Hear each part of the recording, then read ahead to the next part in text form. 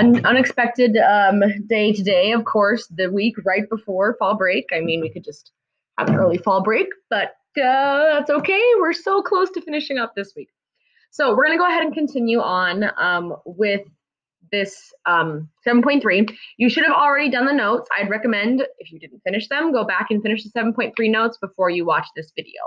Because um, this is really all you're accomplishing today. I'm going to give you some more practice problems as well. But um, going to be a relatively easy day. It's Monday anyways.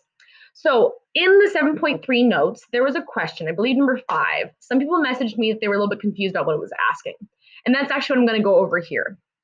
So in 7.3, we were introduced to the work energy theorem, which is that net work equals the change in kinetic energy. This is your kinetic energy final minus your kinetic energy initial. That's a change in your kinetic energy. Now, the cool thing about this theorem is that we can solve for a lot of different things using it. Yes, here we only see three things, right? We see net work and then two different kinetic energies. But if we replace those formulas with what we know for work, because we already know that one, and the new formula that you also saw in your notes for kinetic energy, here's what we have. This is, and I should clarify here, the net force, because that's the net work, right?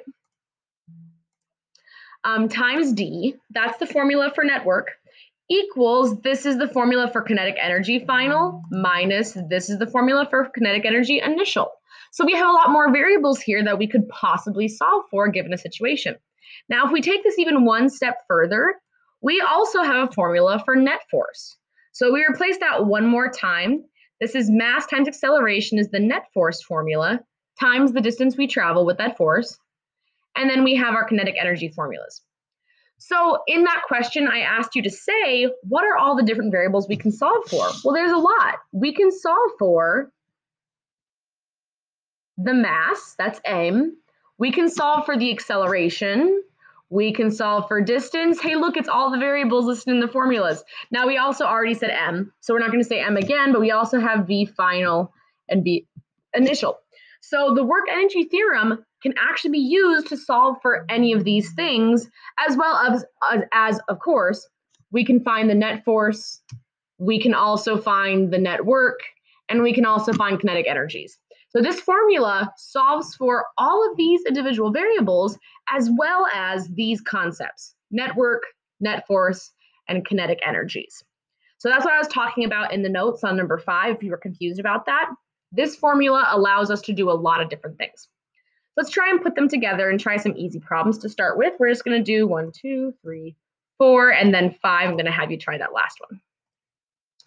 Okay, so just follow along. Again, all of these problems I pulled out of the textbook, so if you don't want to copy them down, you can just write the page number and the number itself, and then you can look back to it there. So starting off super easy, it says a bumblebee has a mass of about 0.250 grams. Pause. What should we do to this? Do it real quick. We need to change that to kilograms. So even before we keep going, we want to make sure we do that. Now, if this were a multiple choice test, we might want to make sure that the units um, do use kilograms. Sometimes, depending on the question, we actually do want to keep it in grams, but here we need to change this to kilograms. So, real quickly, this is 0.250 grams. There are um, in one kilogram, which is what I want, there's a thousand grams. So this is actually going to be a really small number here because it's a bumblebee. A bumblebee does not have a lot of kinetic energy. Remember that kinetic energy is an object's ability to do work. If a bumblebee like bumps into you, it's not going to be able to do a lot of work on you because it's not going to hurt, right? If you want to think about work and kinetic energy in those terms, if this thing were to run into me, would it hurt? that means it has a lot of um, capability to do work and it has a lot of kinetic energy. Yeah. So a bumblebee here is not going to have a lot of kinetic energy point, in fact, uh, 0.00025 kilograms because its mass is not very big. Um, now, if its speed is 10 meters per second, we want to calculate its kinetic energy.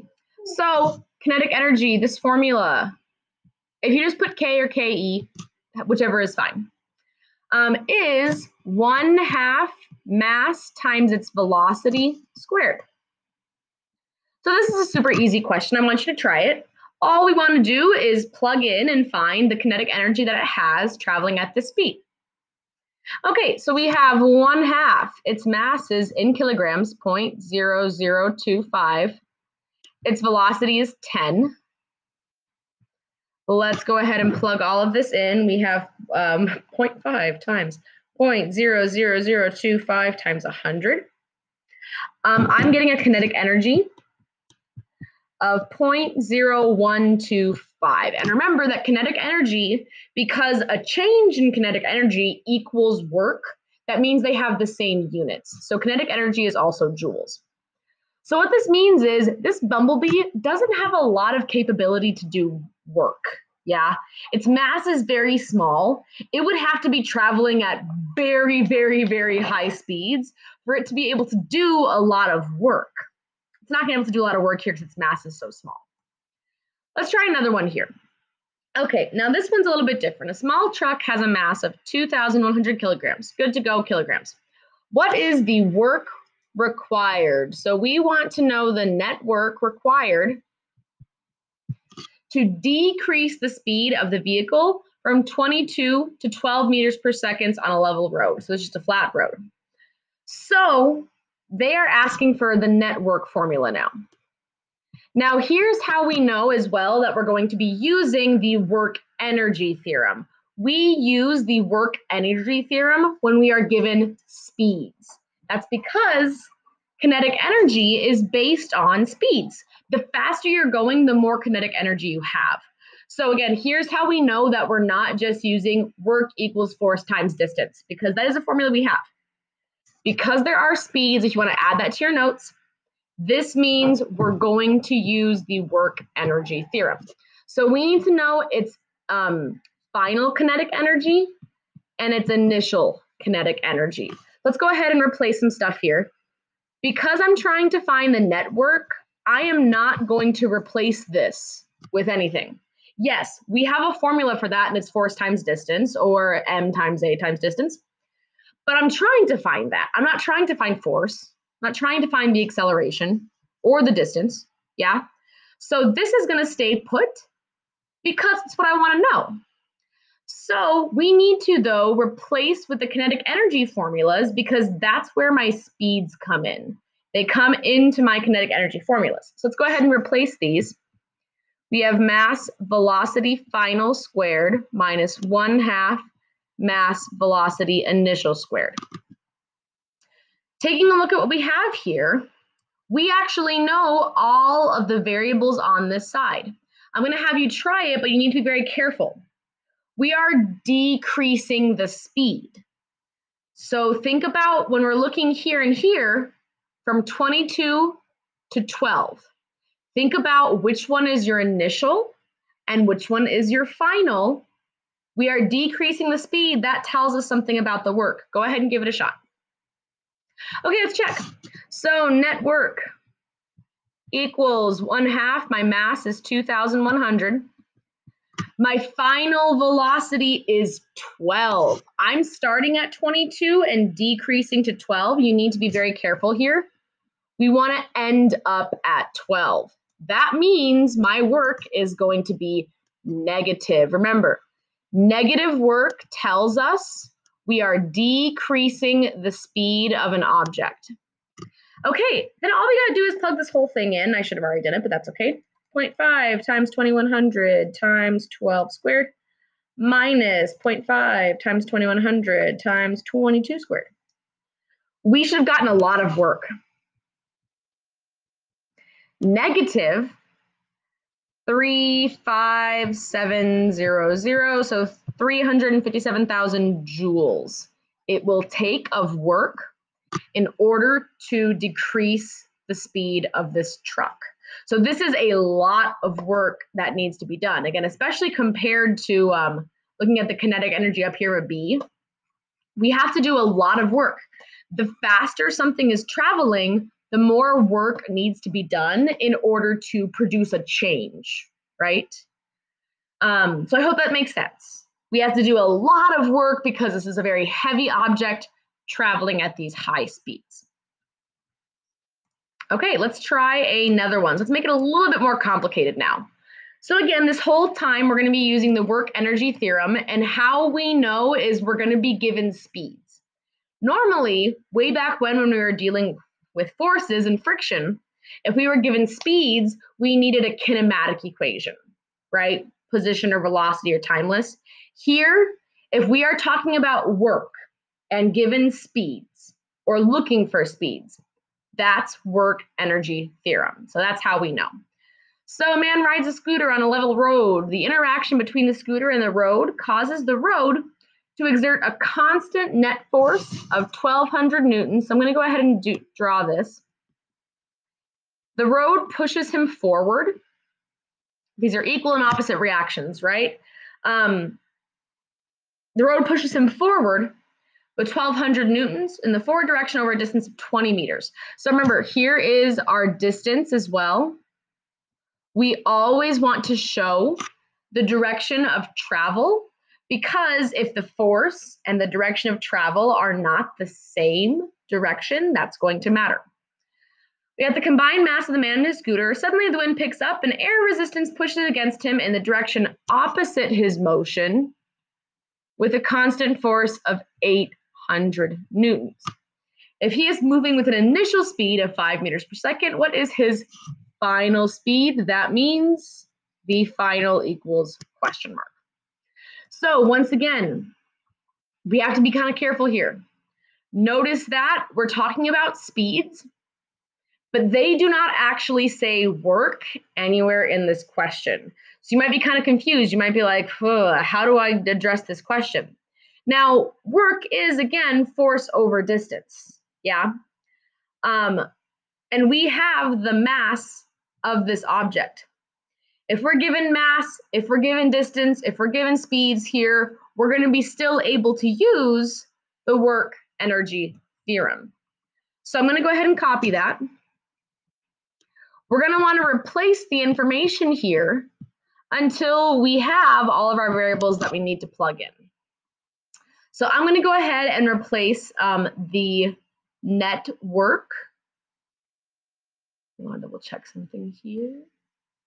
Yes, um, with the formula for net work, and then we'll replace our kinetic energies as well. The reason why I am replacing the net work with its formula is because I'm not given the net work. I am given some forces. I'm given a distance. Yeah, we're going to need to replace that with its formula.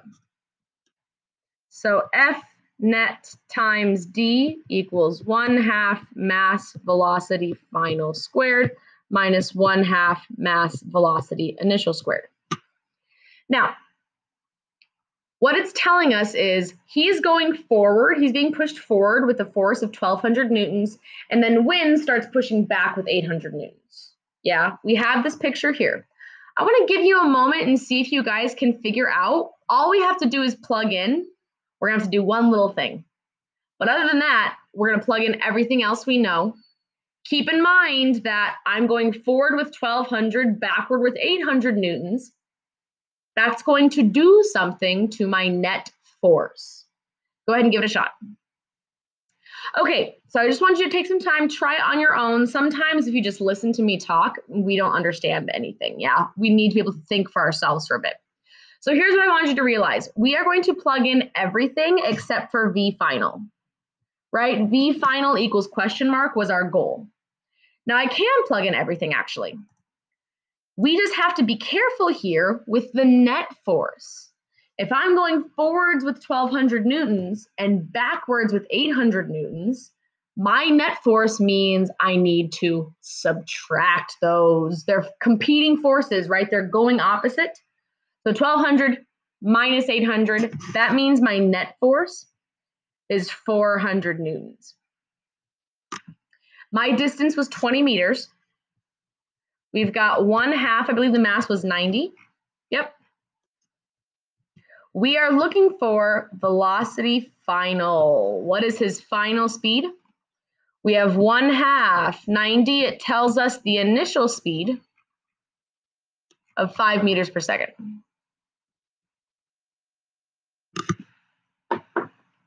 So let's go ahead and move some stuff around and solve. This is going to give us 8 with three zeros.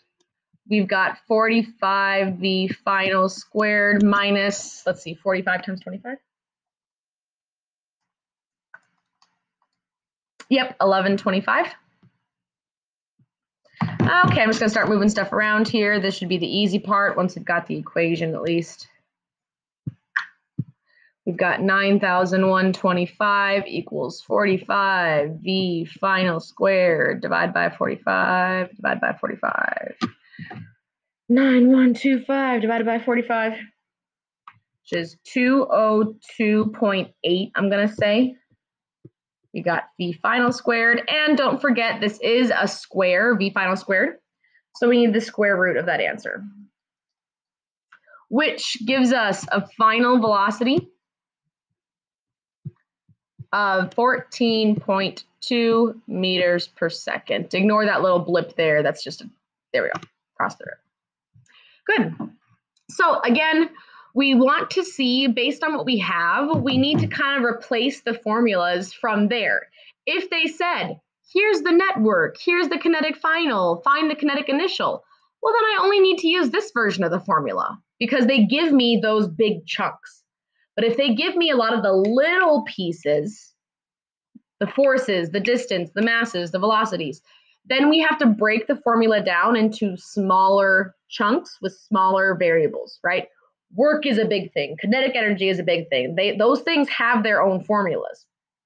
Because we're given all the little pieces, we have to break it down into the formula with all these little pieces. So let's go ahead and try this one more time here. I'm going to have you guys try this one, I believe. Nope, I'm not going to have you guys try this one. I'm going to have you guys try the next one. Okay, so we have one more type of situation here um, where we need to figure out um, what version of the formula we need to use. Let's go ahead and read it. Calculate the final speed of a two kilogram object that is pushed for 22 meters by a 40 um, Newton force. Ah, we have an angled force here, directed 20 degrees below the horizontal on a smooth level floor, guys. This means no friction. So we're starting off easier here. We're not dealing with friction. Assume the object starts from rest. So we are going to be using, again, if we have a distance, an object being pushed over a distance by a force, that is work. Force times distance, that's what we're talking about here. This is work. Now it does say calculate the final speed. So once more, this means our final velocity equals what? We don't know. That means we need to break it down into our individual formulas. Yes, this is the work energy formula. But because we have, we're looking for speed, we are going to need to break this down into its individual pieces. So net force times distance one half mass velocity final squared minus one half mass velocity initial squared. I want you to try this to start off with. Go ahead and I'm going to have you pause the video. We are looking for velocity final. That means we have to know everything else in this equation. Um, we are assuming the object starts from rest. Keep in mind that'll be the initial velocity. I want to see if you, how far you can get. If you get stuck, press play and we'll go from there. Okay, so if I need to know everything, notice that we know D. D is 22. We know M. M is 2. We know the initial velocity. That's 0. Therefore, in order to get this, we still need to find the net force. Now, the net force here is not 40 newtons.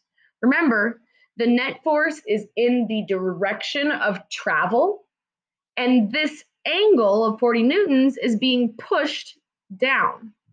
So let's draw a picture here. It is traveling um, um, on a smooth level floor. So this is a flat surface with no friction. we have this 40 degree force directed 20 degrees below the horizontal. So here's my horizontal. 20 degrees below the horizontal. Think about where that would go. Here's 20 degrees below the horizontal. Now, again, what this really means is that somebody's probably pushing at an angle from the top, right? But that ends up being directed down. So this is really where the force is coming from, but it's really, again, coming downwards off our object here. So this is 40 newtons we have an x component, we have a y component, right? This would be my y component. And then this up here is my x component.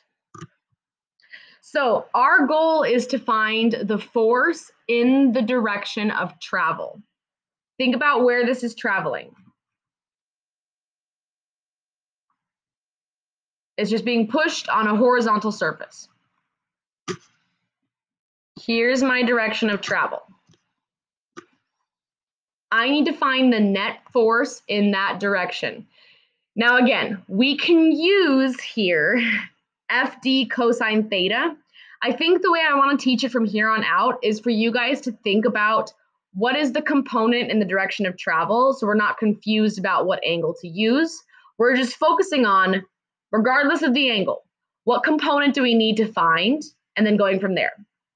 So the component in the direction of travel here is the x component.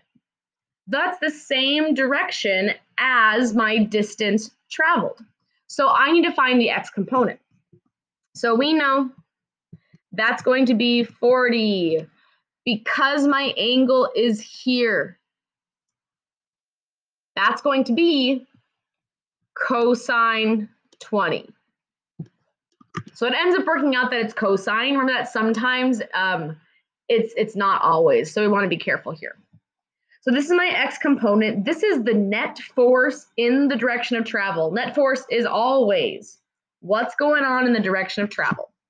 So, so 37.6 newtons. Okay, so this is my net force. That is the only force in the direction of travel. That's all we care about. So I want you to go back up here. If you didn't, um, you can just click continue if you were able to finish this up. Now that we know the net force, now we can plug everything in. So I'll scroll up as well. Our net force is 37.6.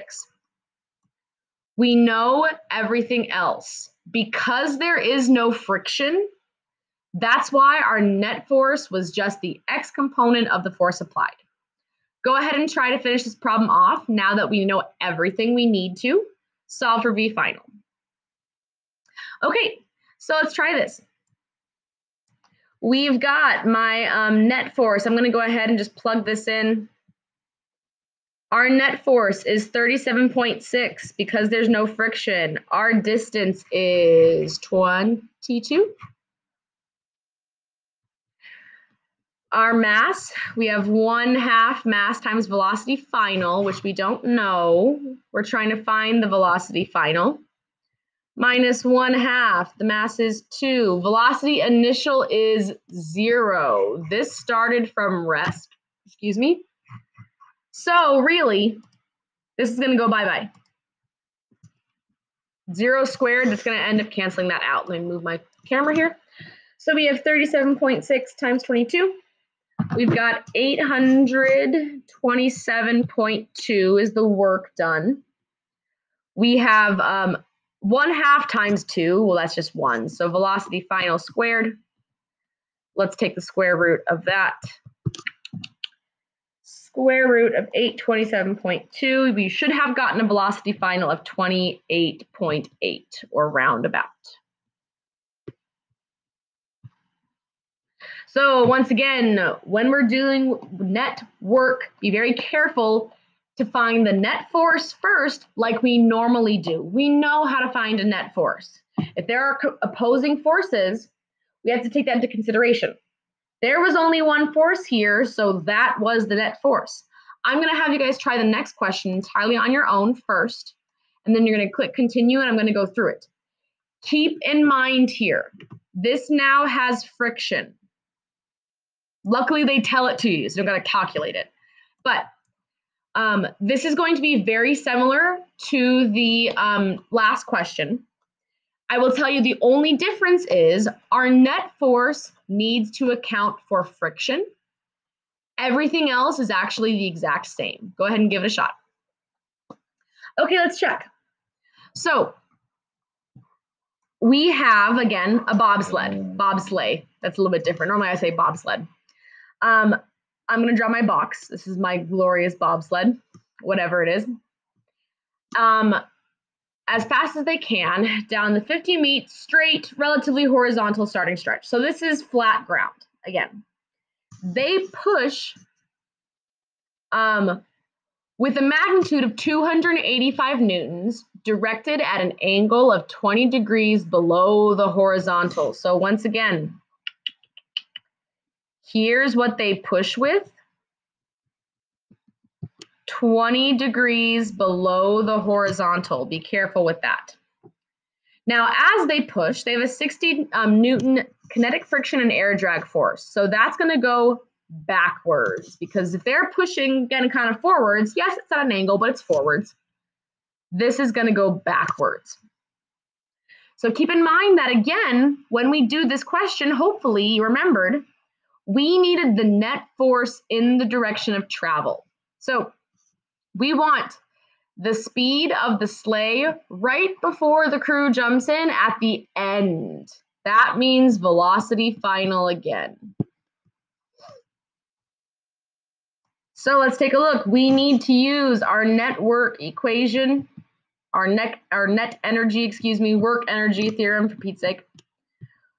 And because we are dealing with forces and distances and velocities, we have to replace everything with the formulas for these individual concepts.